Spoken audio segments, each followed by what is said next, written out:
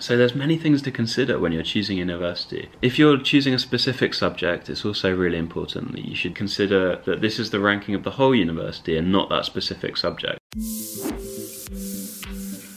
Chinese universities have been rising up their rankings very fast, and there's now almost 500,000 international students studying in China. I'm going to look at the top universities in China and look at different rankings, and the top six especially. But Make sure you don't choose a university just on the rankings. I'm going to explain more in a bit. The academic ranking of world universities, QS world rankings, and the Times Higher Education.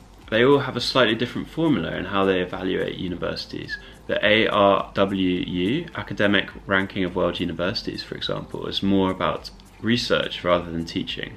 The top six universities in China, you have University of Science and Technology of China, Zhejiang University, Fudan, Shanghai Jiao Tong, Tsinghua, and Peking University. These are agreed on as the top six, with one and two being Tsinghua and Peking University, which is widely agreed on in the rankings but they all differ on slightly different parts depending on what they look at in the ranking. Now, the rankings I'm going to link in the description, but I also want to introduce some of the government plans because the government has big targets.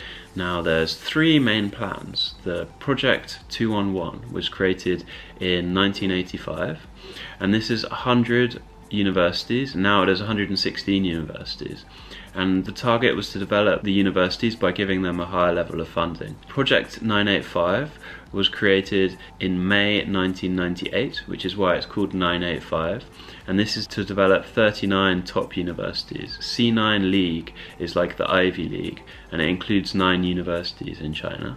This is University Science Technology China, Fudan University, Shanghai Jiao Tong University, Harbin Institute of Technology, Zhejiang University, Tsinghua University, Peking, Nanjing, and Xi'an Jiao Tong University. And then we have the double first class university, which was created in 2015, and this is combination of two different plans the World First Class University Plan and the First Class Academic Discipline Construction Plan, which were combined together.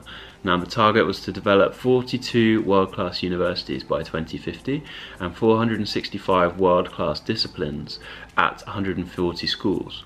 And, and this was divided into different categories a class A, class B universities, and the double first class discipline universities, which is 95 in total. Now, these different plans is basically to make the universities international and to develop them. These initiatives are important because this is the government policy.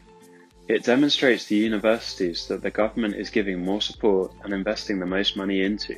Those universities with more government support are going to have more facilities and resources and are more likely to have a better experience and attract more talented professors and students.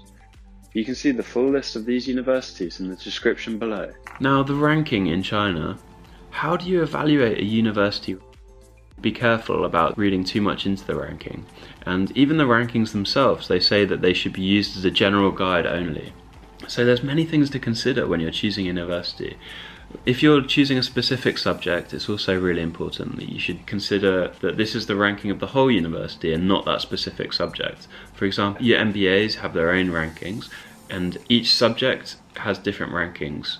So there's some universities which may be lower ranked overall, but they're much higher for the university ranking. Also, it's important to remember that the experience as an international student is going to be different.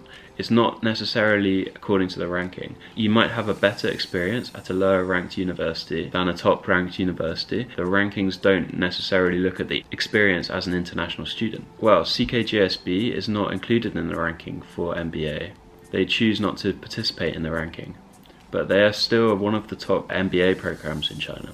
And Xi'an Jiaotong Liverpool University, University of Nottingham Ningbo, China, these two universities also are not ranked as highly as they should partly because these are international universities. It takes time for them to be to rise up in the ranking. But if you want to know where these universities are ranked, you can look at the, the parent universities and see where they are ranked, and it can give you a better idea of how highly ranked these universities are.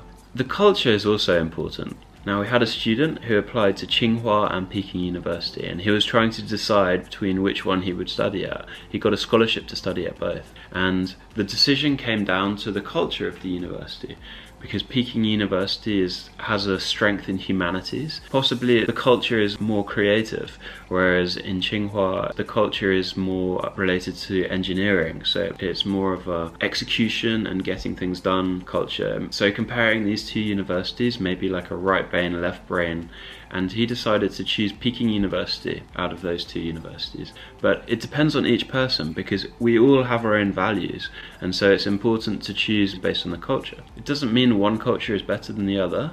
It's just different and it can have a different match according to different students. Now there's a few differences between Chinese universities and Western ones. These universities, these top six universities, are so competitive and so difficult to get into, especially Peking and Tsinghua University. In China, there's so much competition to get into these universities.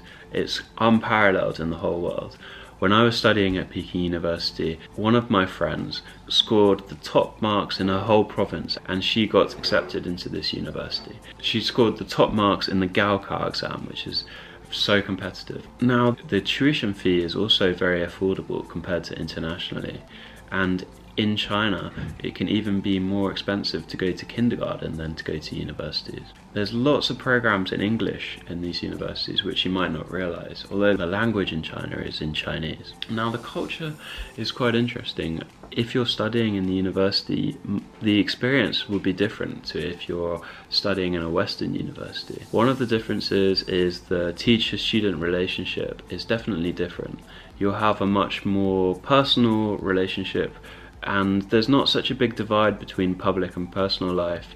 And this is the same in China in work and personal which this kind of blurred together. This can also be a good thing if you're looking for work opportunities. You can ask for assistance with your teachers. How do you apply to these universities? It's definitely not very simple to find the information.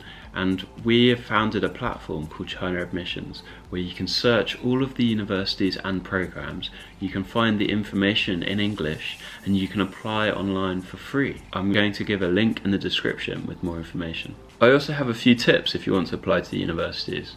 Make sure you apply early because you can often apply it early and it will definitely increase your chance, especially for a scholarship. There's a lot of scholarships in China and so it's definitely good to apply as early as possible. The earlier you apply, the less competition there is. It's very important that you understand the universities that you're applying to and make sure you do really good research. This can definitely help when you're applying so that you can tailor your application. Thanks for watching. If you have any comments or questions, please leave a comment below.